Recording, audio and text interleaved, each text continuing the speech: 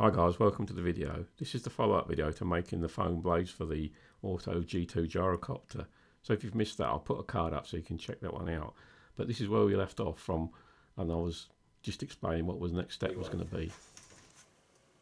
So next thing to do really is just take it down to the flying field and give her a try. Um, and if it all doesn't go so well, hopefully these blades will survive a bit until I get used to flying these things. So quite keen to fly an auto gyro. That it's something I've always wanted to do. Uh, I don't know why. It's just one of them things that sort of grabs you. So the weather forecast for the weekend was pretty bad. It said it was going to rain all weekend, but I woke up Sunday morning and it looked really uh, good. With winds of only about six or seven miles an hour. So I quickly got some batteries on charged and then headed off down the flying field.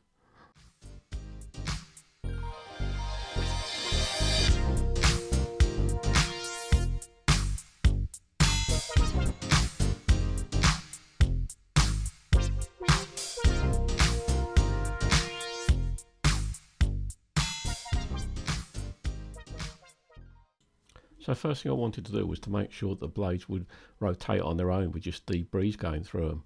So I just stood out the way of it and then as soon as I stood out the way, uh, the wind was coming straight down the field and then they started turning on their own, which I was quite pleased about because I think if I'd got it wrong, they might have just stood there. So you can see the wind's coming straight down there.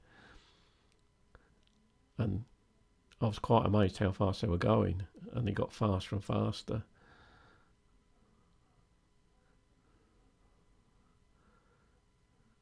So I probably wouldn't even needed the rotator to get, get it up in the air.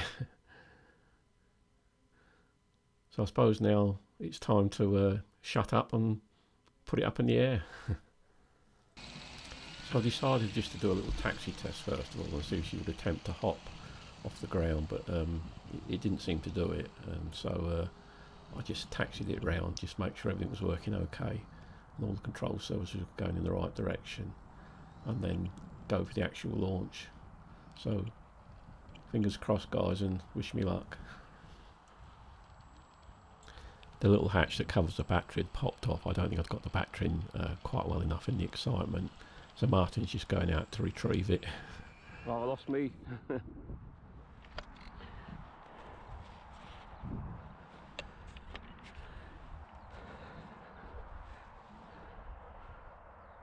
still gentle, power a little bit more early. So yeah, starting to feel a bit yeah. nervous now.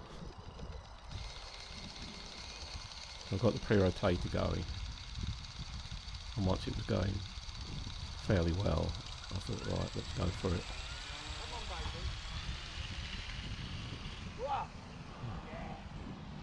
She's up.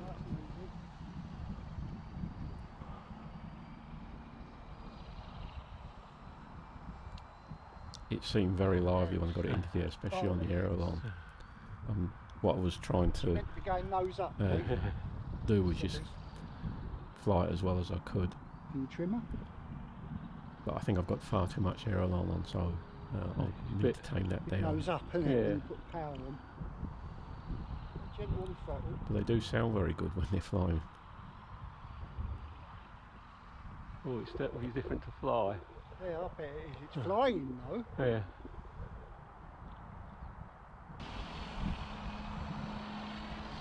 Oh. Don't come down. Love you.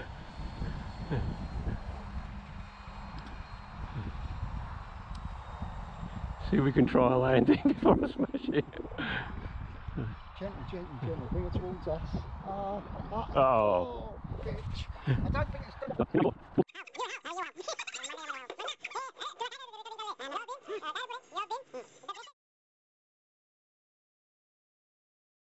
What's the results? Yes. All right, we've lost the lid. There it is.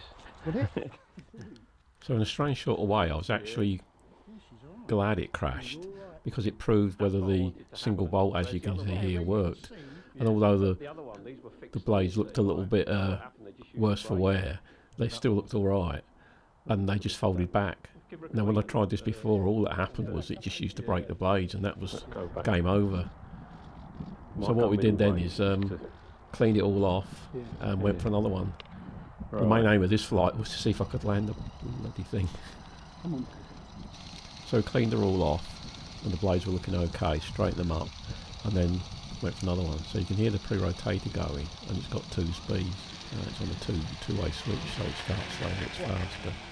And then once I'm up in the air, I then switch the pre-rotator off and you can see that little battery hatch has come off again. So I need to sort that out. So all I was trying to do here was just do a circuit and come in for a landing. I think it's I've had this model well over four years and I've never managed to land it yet. So had a few takeoffs. No. So let's see if I can manage it this time.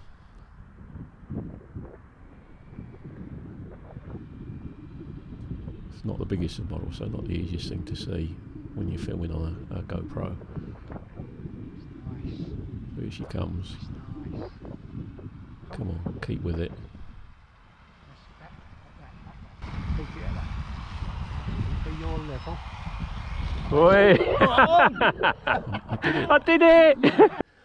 I was so pleased after this because it's.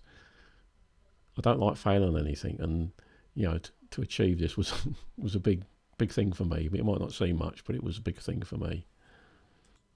So I did try a couple more takeoffs, but what happened is the actual 3D printed rotor hub um, broke, and one of the blades uh, became detached. And I don't know whether that's from the crash or you know whether these takeoffs because it, it, did seem to tip over for some reason. So I think something got a bit out of uh, whack. So as you can see from this attempted takeoff, it just went to one side, and I think this is when the the actual rotor hub broke.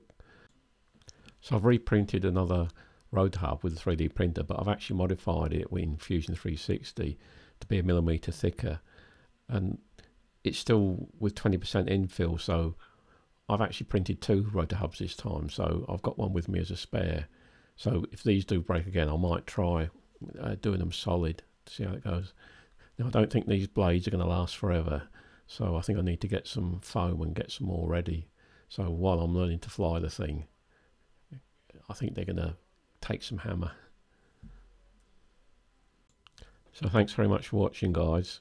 It just proves how versatile the CNC foam cutter is. You can do rotor blades as well. So keep a lookout for the next video, and that's going to be on DevWing foam.